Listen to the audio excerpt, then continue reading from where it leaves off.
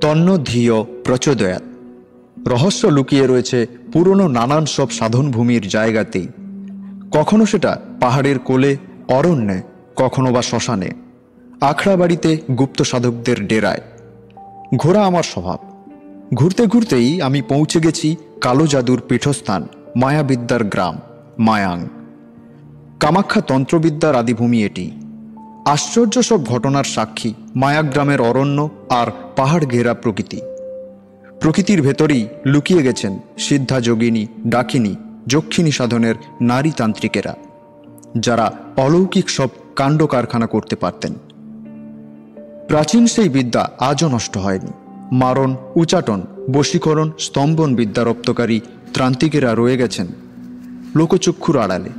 যেমন রয়েছেন আদিবাসী গ্রামের শ্মশানে অঘরিণী মাতাজি, যিনি দীর্ঘদিন না খেয়ে যোগ শক্তির সাহায্যে বেঁচে আছেন আছেন জলের ওপর দিয়ে অবলীলায় হেঁটে চলে বেড়ানো ভৈরবী মাতা। গুরু পরম্পরার বাহিত সেই সব গুপ্তবিদ্যা, গুপ্ত রহস্যের সন্ধান করতে করতেই তাই পৌঁছে যাওয়া কখনো চিকনা পর্বত, নীলগিরি পাহাড়, ভৈরবী নদীর গায়ে রাজরাপ্পা, কখনো বৌদ্ধতন্ত্রের ভূমি মলুটি স্বয়ংভূনাথ স্তূপা বৃন্দাবনের হরিদাস স্বামীর সাধনস্থলী, যেখানে পৌঁছতে গিয়েই তন্ত্র ও সঙ্গীতের সাজুজ্যে গড়ে ওঠা এক রহস্য জমির সন্ধান পাওয়া, যা হলো গিয়ে সাধকের শরীর। শরীরের মধ্যে লুকিয়ে রয়েছে সমস্ত রহস্যের সমাধান, তার হদিস পেতে সর্বপ্রথম একজন সদ্গুরুর প্রয়োজন।